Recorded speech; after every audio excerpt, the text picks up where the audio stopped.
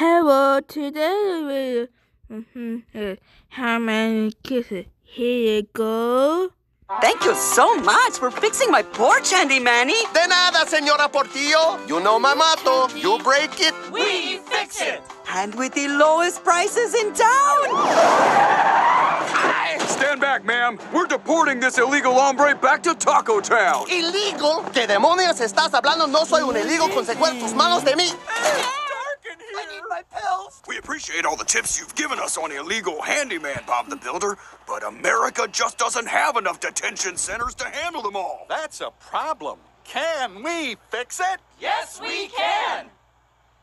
Bob, Bob, you can't let them deport me. You know I was born in America. Yeah, the 14th Amendment says that makes you a citizen, and it's a real problem. Can we fix it? I don't comfortable with this. like Japanese. Hmm.